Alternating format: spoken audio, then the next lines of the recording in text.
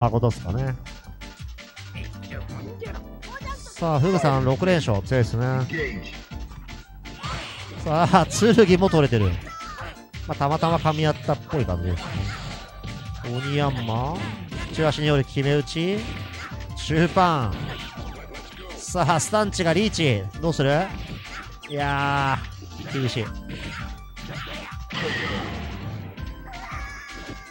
ほらね、いちいち全部スタンチ高いっすね。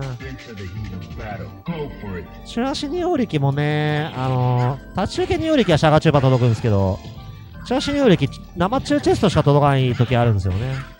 まあ、っていうか、中足二葉力はほぼあれか。全部生中チェストしか入んない。結構むずいんですよね。むずいっていうか安い。さあ、はまって、合成に使って、